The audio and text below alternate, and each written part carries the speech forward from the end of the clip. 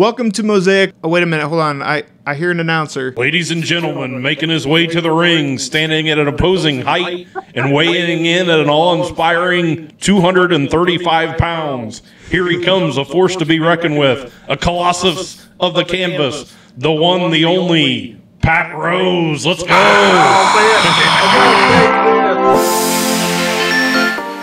Welcome to Mosaic Minds, the podcast where every episode is a colorful blend of perspectives, ideas, and conversation. Each week, our diverse team of hosts brings their unique backgrounds, experiences, and interests to the table.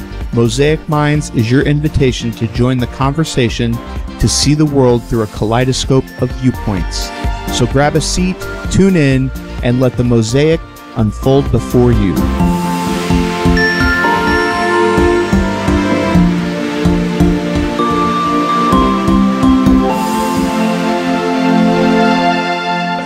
You know, my son's training to be a pro wrestler. We were getting ready. He went to the Cornbread Festival, music and all that, and we're standing there, and I'm doing this, and I'm saying, "Damn, son, look, your dad's freaking uh, going away." Golly, how y'all doing, man? Doing good, Hey, man. good, man. Good. Where now? Where, where are you out of?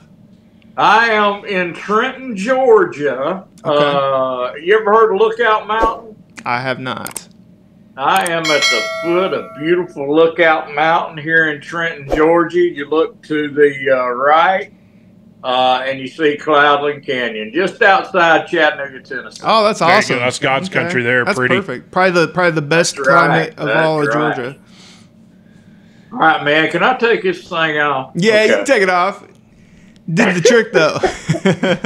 Did did the work, man. Did the deed, man. That's that's what it's all Oh, about. I love it, man. Now that mask is the original mask I wore, uh, teaming with uh, Mr. Wrestling Two. Uh, if you don't know Mr. Wrestling Two, he was one of the one of the top mask wrestlers in his day, the '80s. Uh, that's when I come up, 79 to 94, and I got the tag with my childhood hero. Now, I wrestled here in Trenton, Georgia, and on my gym bag, on the bottom of it, I had taped a picture of Wrestling Two.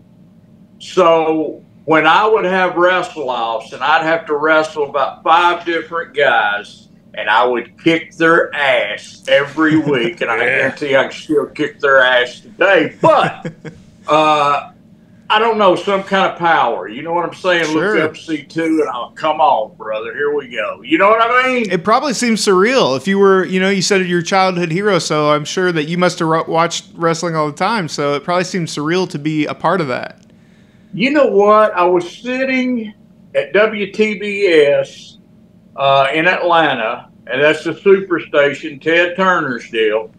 And uh, I'm sitting there, and, and Paul Orndorff's sitting beside me, right? And I had just finished my match and getting dressed right out of the shower, whatever. And Paul Orndorff's putting his pants on. And I look over and I said, Well, damn, he's just like me. yeah, one leg at a And that time. just- that that just settled me down. You know, used to I'd look at Paul Orndorff or Wrestling Two or Dusty as mega heroes. You know what I mean? And that moment just calmed me down, and it was it was balls to the wall. I think that's that. I think that's awesome, Mr. Wonderful. I mean, he uh, he he wrestled all the time in the big events back in the Oh. day, and I, I Yeah, think I think man. you're right with that. You know, any sport in general, I think it's all about the heartbeat. You know, the the anticipation. You know, hey, I've done this before. It's slowing down a little bit for me. You know, I'm a step ahead. I'm not as nervous as I would. So, uh, did you exactly. did you get your start as a, as a youth? Was it a lifetime goal? I'm going to let you speak on how you got your start in the wrestling circuits. You know what? I started wrestling at eight. At, uh, excuse me, in the eighth grade at Eastside Junior High. I tried basketball for about a day and quit and went to wrestling. And uh, wrestled at uh, Dade County, uh, Lakeview, uh, uh, and then finished up at Dade County where I live, uh, Dade County, Georgia. And uh, man, I've always loved wrestling. I went to wrestling when I was 12, and I seen uh, Jackie and Don Fargo. And and what got me into working out and having a body? I mean, I don't now, but having a body was Don Fargo. Oh my God, he was muscled up, and I got to be good friends with him. I got to be good friends with Jackie Fargo. I got to be part of the new fabulous Fargos that I put together, man. Yeah. Because I love those guys.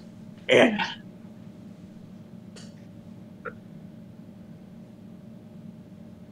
sorry. Hey, I'm gonna I'm gonna give you just a few seconds, man. Uh, this is this is uh this is actually special to me, believe it or not, because uh, growing up in northern Indiana, man, we needed we needed to wake up Saturday morning at 7:30 in the morning just to watch that. Now, now you're a pioneer of the day, man. So I think you're good now, but I Oh. think I think transitioning into what it's made today. I mean, it's great to see some of those uh, famous names from that day. So I'm going to let you take it from there. You know, uh, French Lick, Indiana, freaking uh, Larry Bird's hometown. That's right. I wrestled in that gym. Oh, there you go. Uh, there you go. yeah. Larry Yeah, Bird man. Boulevard, right up the road. We fish at Patoka, right up the road. That'll be another topic. Really? But that's uh, that's an hour and a half from where we're at. Just so you know. Oh, that's that's cool, man. Yep. But you know, my son, and I, I don't remember your question, but I'm gonna ramble on. My son is training to be a pro wrestler. He's been he's he, he started playing drums at three years old. He's a good drummer, plays for the church, plays for bands. But he was front man when he was 14. Just got a text from Gerald Swindle. I got his shirt on. He said, That's awesome. uh, but G-Man. he started playing music when he was 14, front man, and he's got three songs out, the whole deal. But he come to me and he said, Dad, and I've tried to keep him away from it, but he said, Dad, I want to be a professional wrestler. And uh, I said, Okay, son, because it's not my life to live, it's his. If that's what he wants, I'm going to help him. Yep. And we've already used him in an in a in an angle, and y'all I'll smarten you up to that off the air. In an angle with him getting he was singing the national anthem, and this guy comes out, his name's Drago from Primetime Wrestling. He looks like Lex Luger made over, brother, but he's Ukrainian. Okay, so he's their Ukrainian flag nails Camden. Camden takes a perfect bump down, gets back up, nails him again. He hit him, got a hard way right here, and started bleeding. So here comes Dad. I'm covering Camden, right? I'm covering it. He grabs me by the ponytail. I got long hair. He grabs me by the ponytail, nails me, hits me with the flag, so I start bleeding. Oh so oh my god. and the only reason I did that was to see what Camden would do, how he would handle it. Brother, he was great. That's cool. On the mic, he's great. I couldn't speak when I first started wrestling. I was like, but Camden is good on the mic. And now I've been I've been letting him train with a, a kid named Jaden Newman, which is a great wrestler, best power slam in the business. But I've been letting him train with the, with them, and I haven't went because I didn't want to go. I want him to get smooth and get comfortable, and then Dad's coming and gonna put the finishing touches on it. And if you don't do it right, don't do it. Yep. You know what I'm saying? Absolutely. I'm old school. Yep. It's flip and flop now, and a lot of guys are getting injured doing all this high diving stuff. Mm-hmm. Thank God they got catchers when they bounce off the top rope and turn a flip and land outside. Oh, here I'll catch you. That don't mean nothing, Right, man. right, It yeah. looks pretty. Yeah. It looks pretty, and people like it, and wrestling changes. And I understand that. But I'm old school, buddy. Give me a story. Yeah. Make that old lady in the front row mad at you, wanting to hurt you. Exactly. Exactly. You know what I'm saying? Yeah. Heal, heal it up a little What- bit, rough around the edges and stuff. what would Absolutely. you what what would you say uh, is the is the line where of wrestling versus the versus um, almost like a stunt man like where where's the line there because i know there's actual you know a lot of people say oh it's all acting but i know there's there's like real wrestling involved so i mean what where would, where would you say the line is there and is it different now than it was then You know what? I don't think there's any lines now. Yeah. It's it's whatever. You, oh my God! Jump off the balcony onto a table onto your back. Why? Now here's what Bill Dundee. You ever heard of superstar Bill Dundee? I have. Yep. Well, here's what superstar Bill Dundee told me. He said, and, and I would do the backdrop over the top row. Uh, that's about as, as freaky as I got. But Dundee told me, he said, Pat Rose, if you don't slow down, you ain't going to be walking time you're 50. Yep. And it's the same way with these younger kids today. I mean, I get, I, there's, I can't knock it because it changes, but dead gum guys, be careful. yeah It's not worth it if you can't work. It's not worth it if you're paralyzed. mm-hmm and it's like Does that, that, I make mean- sense. Yeah, yeah, and it's like that in a lot of a lot of co- physical contact sports too. You know, I mean, some people take it take it to the extreme, and you know, they're where to where they can't even put two sentences together because they've messed themselves up That's so right. bad. Pat, I would say like a, a name from my childhood was like Brett the Hitman Hart, and my and my my honest opinion of a guy like that, I think he's a wrestler. I think he's a tactician. I think he does some exciting stuff, but he's he, in my opinion, he's a good tactical wrestler, not a high Oh. flyer that does backflips and you know some of some of the stuff that you see now. It's like, what excitement do you get about you know busting yourself through a picnic table? You know what I mean? It's like. I, I, I get there's I get there's cool value to that, but at the same time, you got to protect the body. Uh, I think there's a lot of Yeah. value in that. So Yeah. now your son, just to just to throw this out at you, we've known each other now for ten years through the fishing crowd, which is how we met each other. Exactly, and uh, not not a not a small statured guy at all. I mean, your son right now, you know, I'm, I'm I'm a bigger guy myself, but I mean, he he can really hold his own on the football field, on the wrestling ring. Talk to a little bit about the aspiring career that he has right now. Well, you know what? uh, Arn Anderson told me a long time ago. He said, and, and I was getting out of shape. Is why he said this. He said, "Pat Rose, don't smarten the people up. Bottom line, Pat Rose, you look like shit getting the gym. you got to look the part." Yeah. You got to have the arms. You got to have the shoulders. You got to have the chest. And back in the day, only 10 years ago did I know I had a freaking peak because I, I done a pose on Dothan TV with Wrestling 2 and I watched the video. It's on YouTube. And, and you know how you do a little picture thing during a video real quick? I didn't realize my arms were that big. If I would have known that, I would have been worse than I was. I mean, I was in shape, man. I couldn't believe it. But saying all that leads to this Camden's got to get in the gym and work out. And I've been taking him. He's consistent. He had about a week off. He had a few shows and this and that, but we're back. And, you know, like I told him, if you lay out, it's that much harder and you're going to be sore all over again. Yeah. So he's working out real good.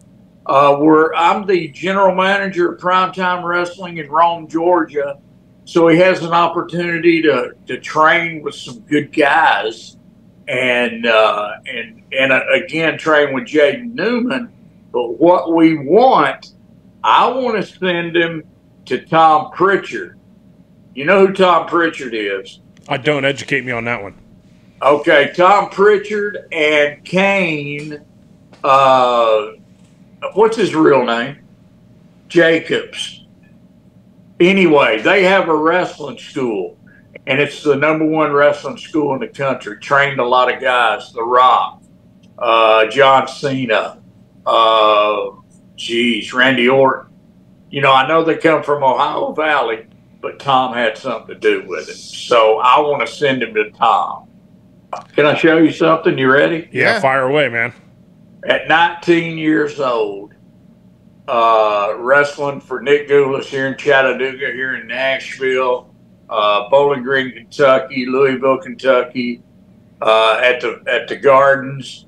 Um, I won this one it was Rocky Brewer. We beat Wayne Farris and Larry Latham for the NWA Mid America Tag Team titles. You want to see it? Are you ready? Yeah. Yeah, let's see that, And man. it's a replica. It's not the real thing, but it's a replica. Yeah. Nice. Huh? yes, sir.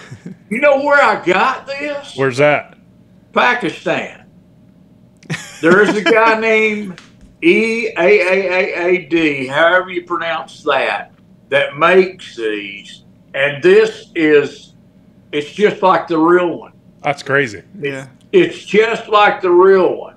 Now, you want to see one that me and Randy Rose held in Oh, yeah. '84, and me and Arn Anderson? Oh yeah. Are you ready? Oh, Let's see it. The crown. Cool. That's Heck bad. yeah, the Southeastern Tag Team That's bad right Champions in their there. day, baby. Heck yeah, man. I'm proud of those. Those goes to Camden. Hey Pat, what would you say is your most memorable match was? The one that comes back to memory is, and it, and it always does, is uh, the new Fabulous Fargos, me and Marcel Pringle, managed by Don Fargo, uh, Expo Hall, uh, Mobile versus the Rock and Roll Express, Ricky Morton, Robert Gibson.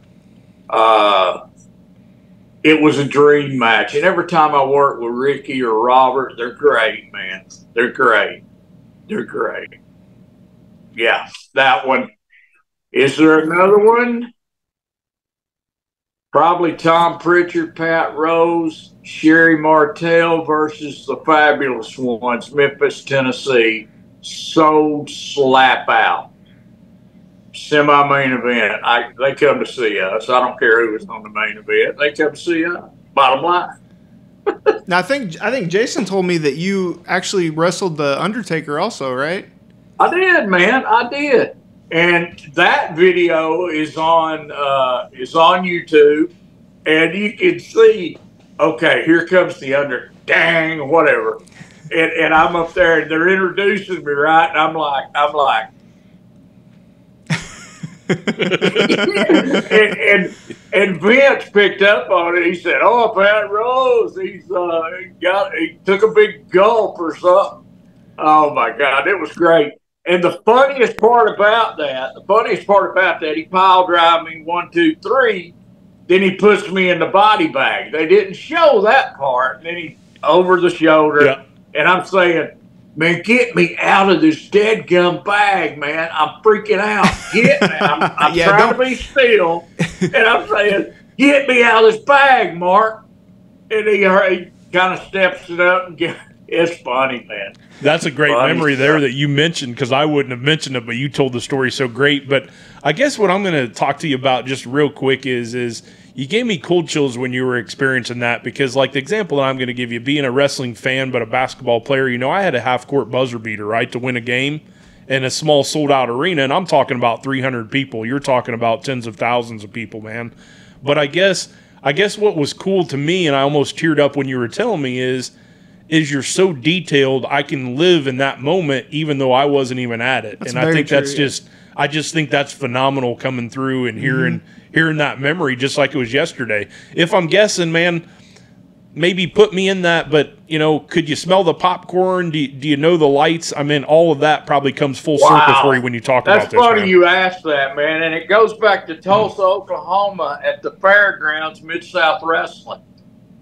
Sold out. I mean, you couldn't get another soul in there. And I tell Camden this all the time. I said, son, and I'm getting cold, chill. Swear to God.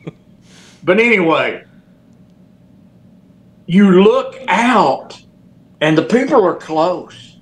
You look out and you don't see faces.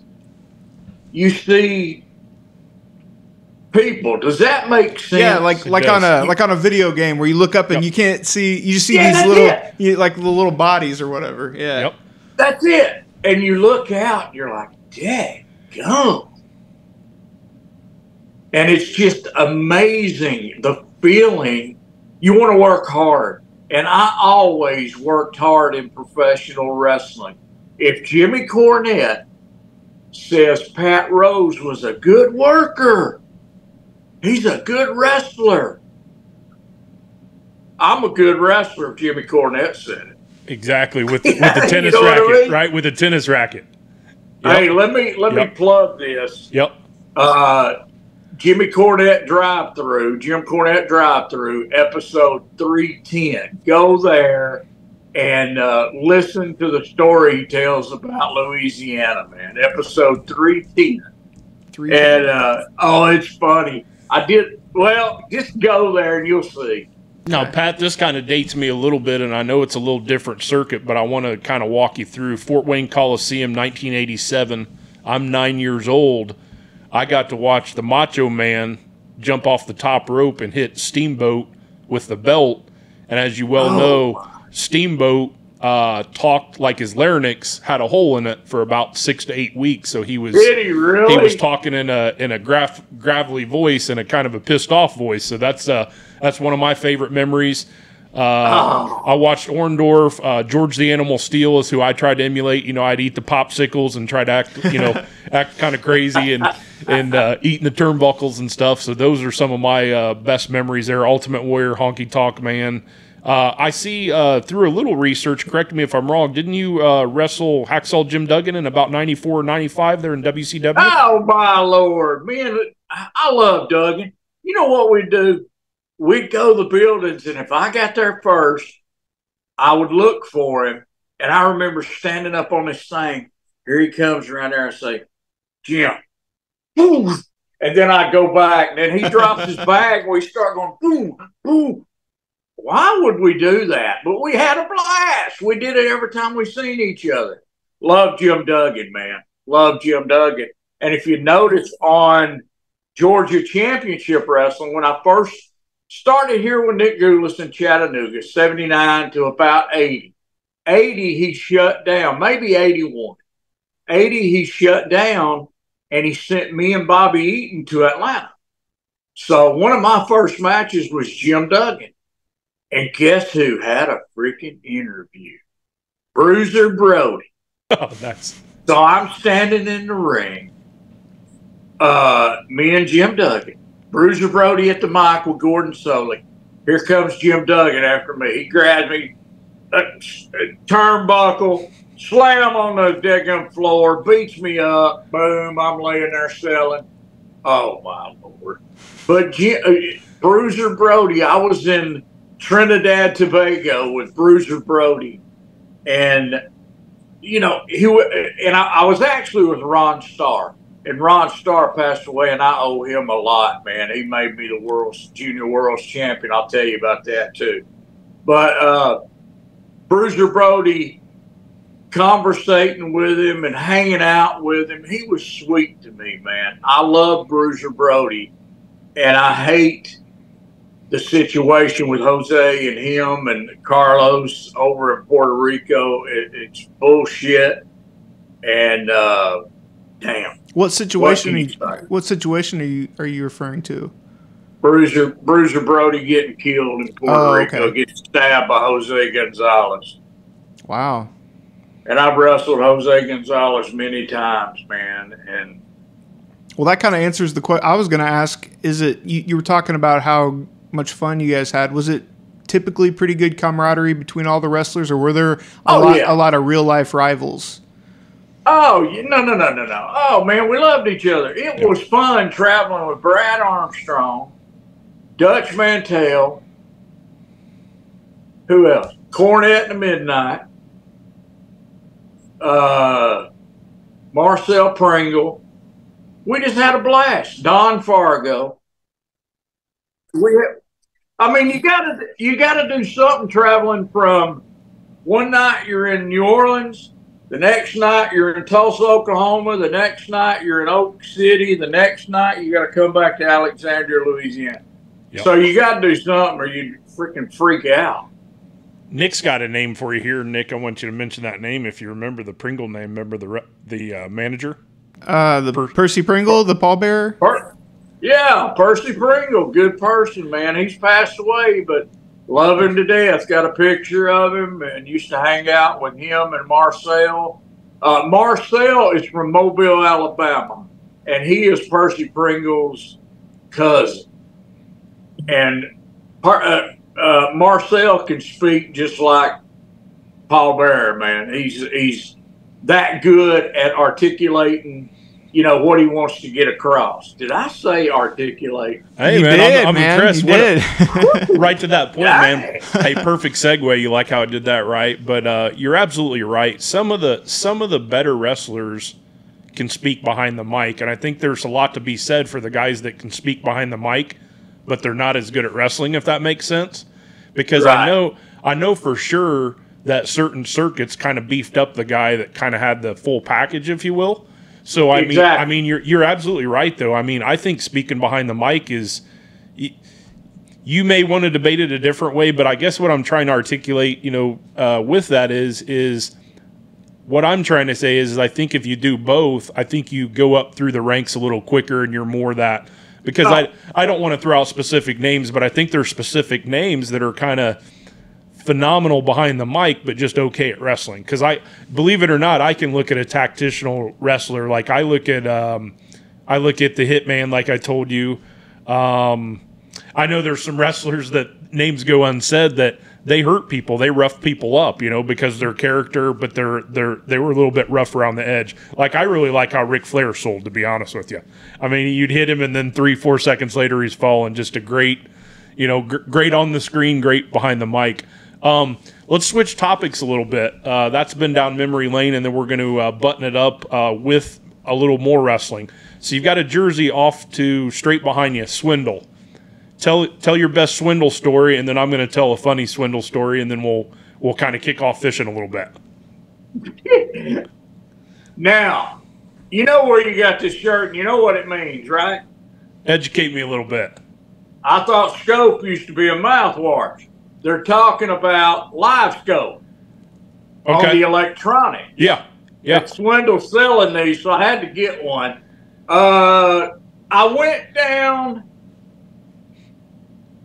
I went down to his place, and we were hanging out in his little where he parks his boat and just crap all over the place. And we were doing a little promo about giving away hats on set to Uncle Pat Rose, and it was like he would say something, I would say something. He would say something, I would say something, trying to get out of it, right? And finally, I guess you know he got he got what I was trying to do. I was trying to sign off. You you follow what I'm saying? Exactly. And we just laughed about that. But Swindle's a good guy, man. He is he's real, uh, and and and I'm real. And what I mean by that, I always had Mark Zona.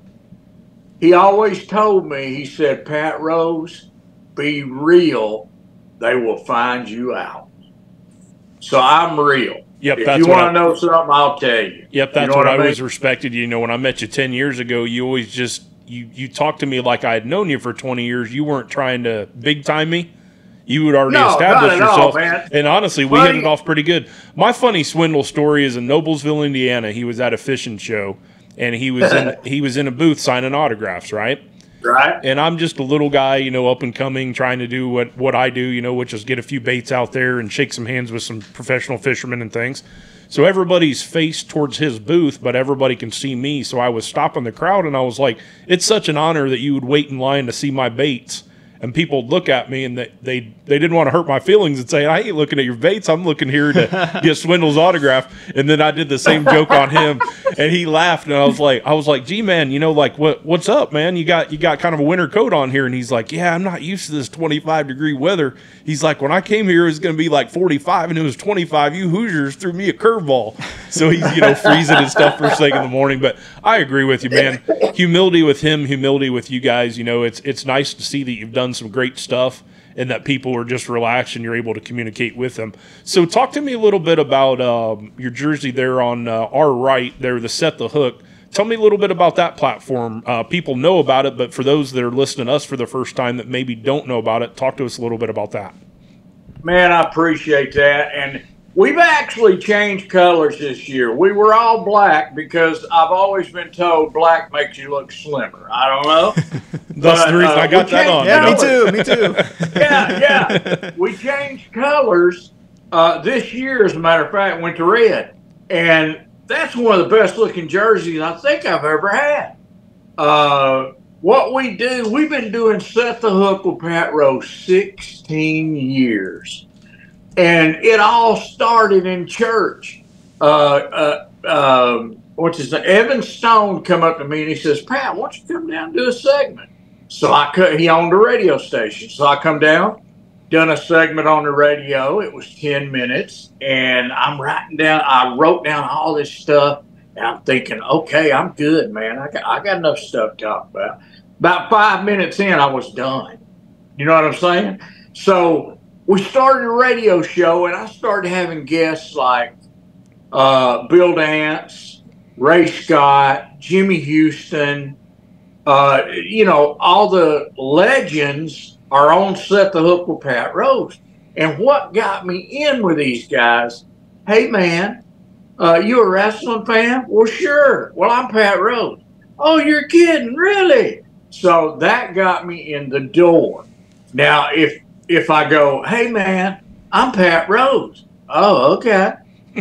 go a different route. You know what I'm saying? You got to go a different route. But I use that as much as I can. If they buy it, they buy it. If they don't, they don't. And then I'm thinking, okay, I've got these guests. I'm going to Chattanooga. So I went to, uh, let's go to ESPN, ESPN 1051 The Zone.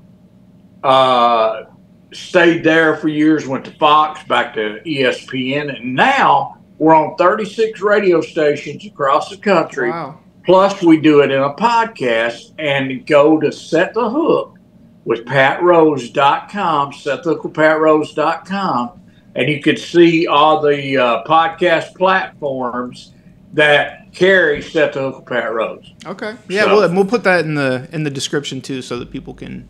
Yeah, and I want to plug. I want to plug your guys' stuff too. Oh yeah, we'd appreciate that. That'd be great. yeah, yeah. Pat, now correct me if I'm wrong. When I when you had me on about eight to ten years ago, it was a small bait manufacturer.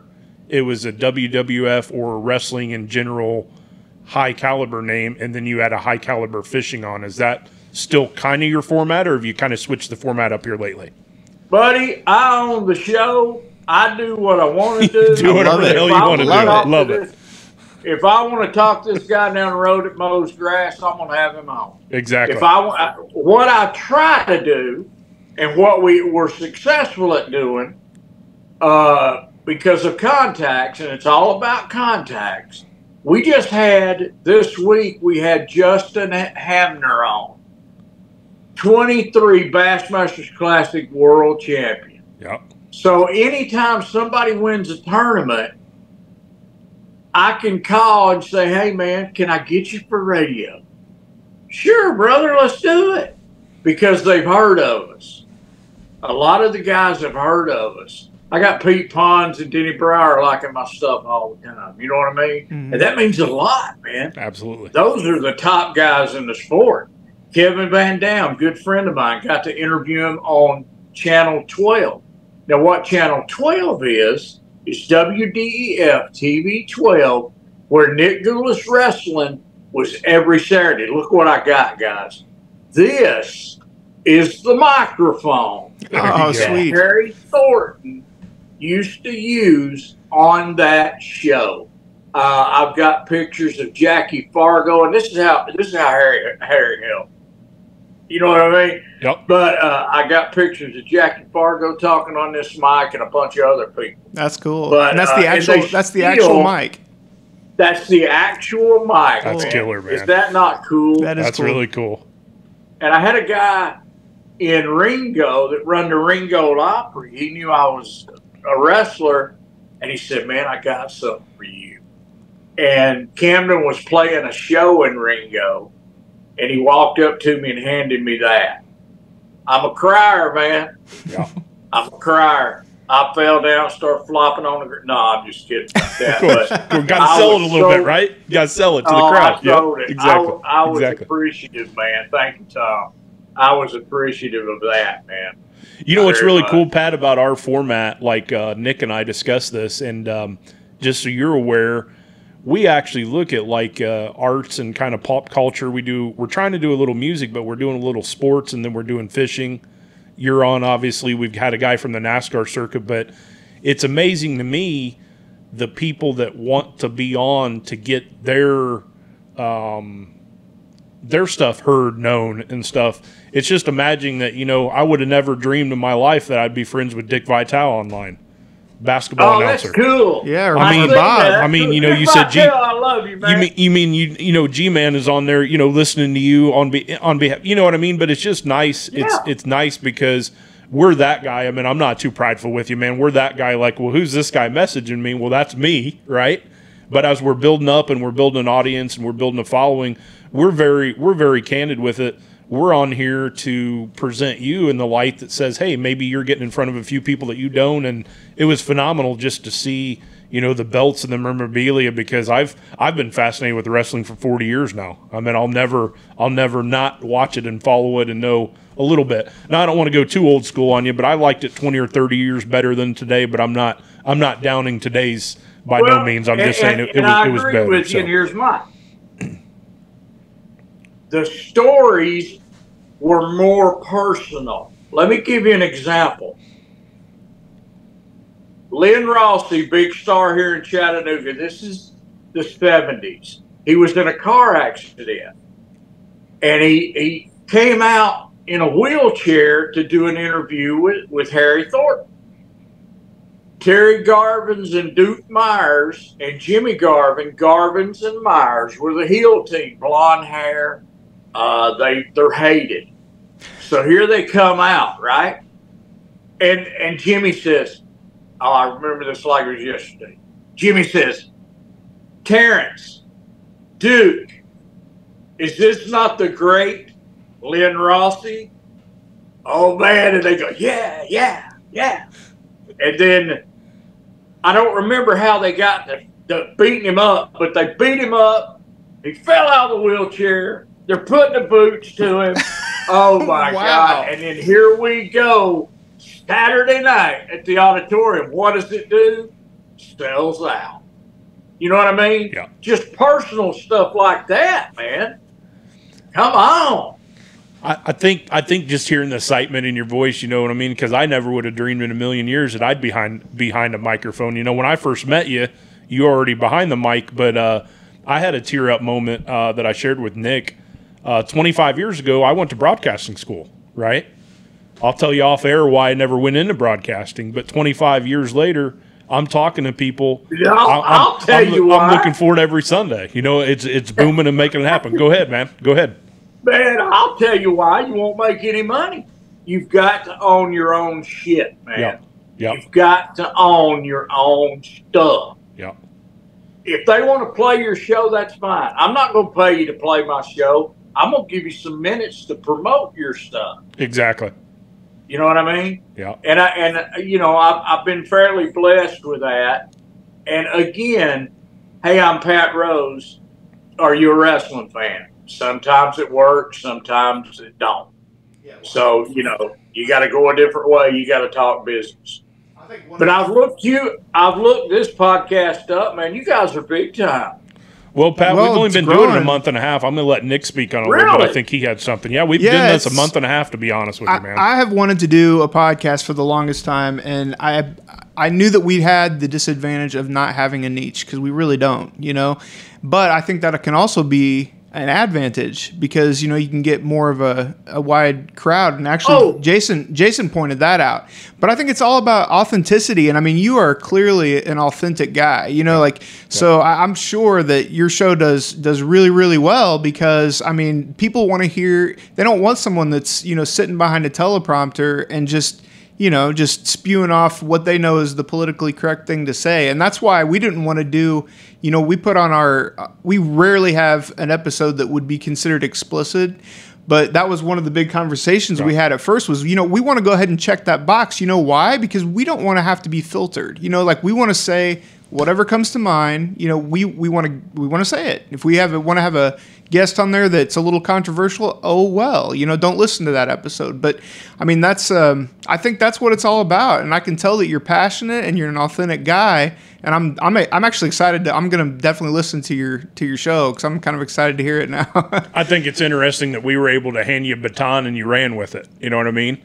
Uh, I'm going to let you kind of hop in there. let me let me mention something that we do and been doing it since day one. First, we open up with the national anthem. At the end, we close with this right here. Matthew 4 19, and he said unto them, Follow me, and I will make you fishers of men. Here's the catch to it. The greatest catch that you and I can make is when someone gets hooked on the love of Jesus Christ. oh wow, Boom. Now, wow. when they start saying, Pat Rose, you can't say that, We move on. know what I mean? we move Yeah. on. Yes, sir. Yeah. Yep. And and that's why that that solidifies. I mean, that makes that makes perfect sense to me because when you start when you start censoring what's important in the threat of our country, that when it gets a little little little off Yeah. kilter to me. So Right. I, I Yeah. agree with you Yeah. 100. percent if, if, Well, we really, the main purpose that we wanted to do it for was honestly something to do, and it was some good camaraderie that we could have between each other because we, you know, we work together. So you know, it's kind of something that we're like, you know, let's let's let's do this thing, and um, it's just really interesting. And I- I'm really fascinated by different walks of life. You know, like I, I may not agree with it, but I like to learn about it. I like to know what's going on. So Well- it fascinates me to have different kinds of people on. Um, again, whether I agree with her or not, in my, in my opinion, that's what makes our country great is the fact that we can all disagree but still shake hands at the end of the day. Pat, he's a big Exactly, uh, he's a big musical guy, so he'll play '90s, 2000s, you know, alternative grunge. He's the music guy that I always wanted to be, and I always tell him that I have no musical talent at all. So the oh fact that he God. does that in the What's technical the side, song Camden plays? Is there a song named Blurred or Blurry? Oh, blurry face, I bet.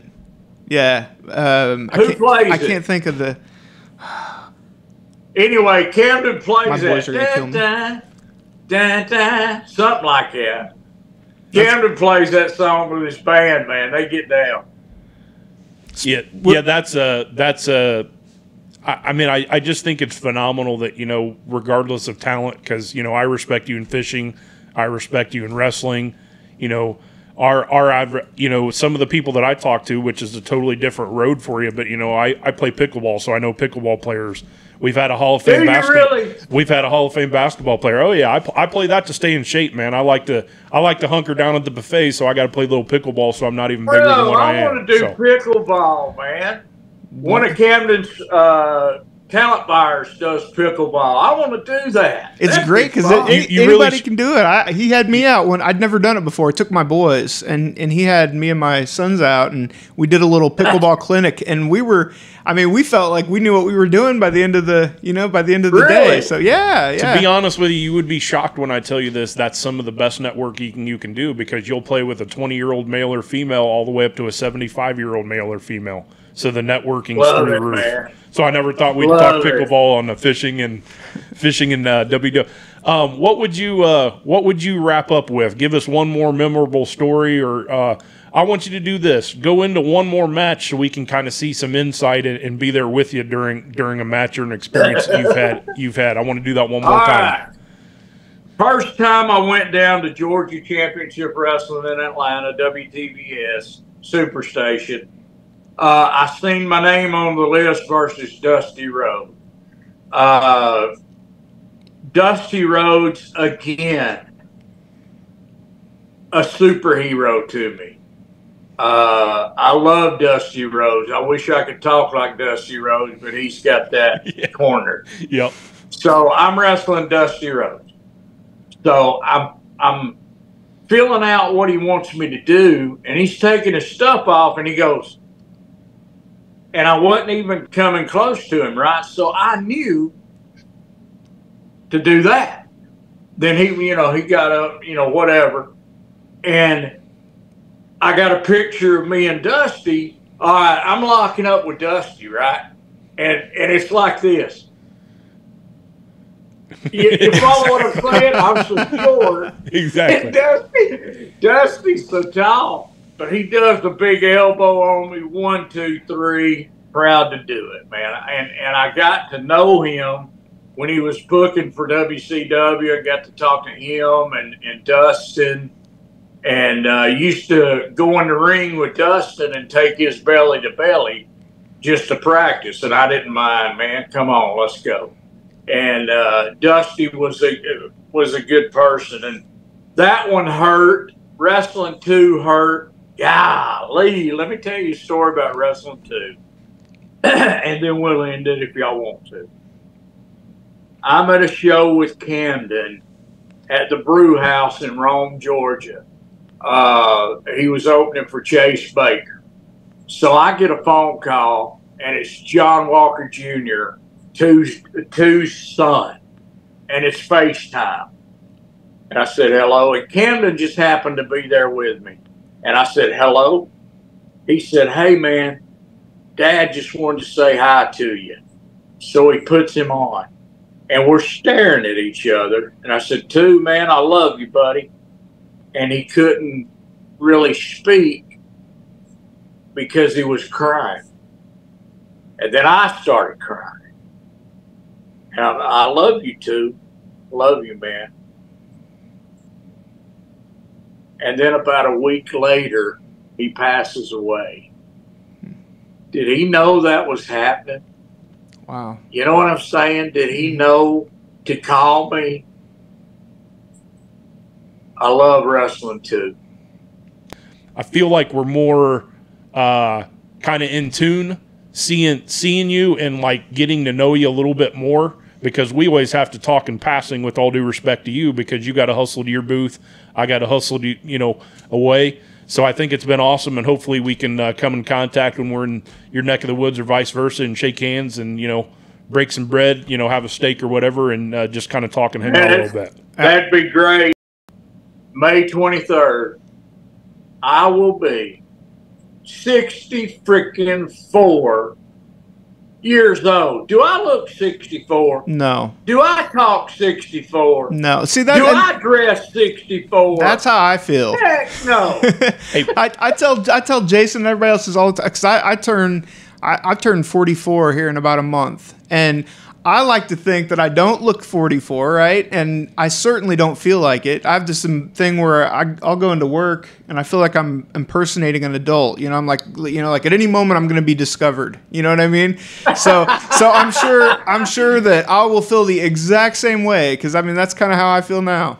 Hey Pat, Brother, li- life. I was Go ahead. I was thinking on you about early 30s. Oh, thank you. 33.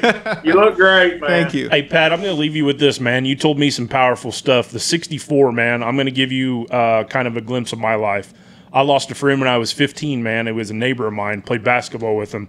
His football number was 64. So I'm going to tell you right now, man. It's a blessing to hear that number. Give him a memory. His name is Randy Hughes. I want everybody from my hometown to realize that we still think about him. Yeah, of course. It's just hard.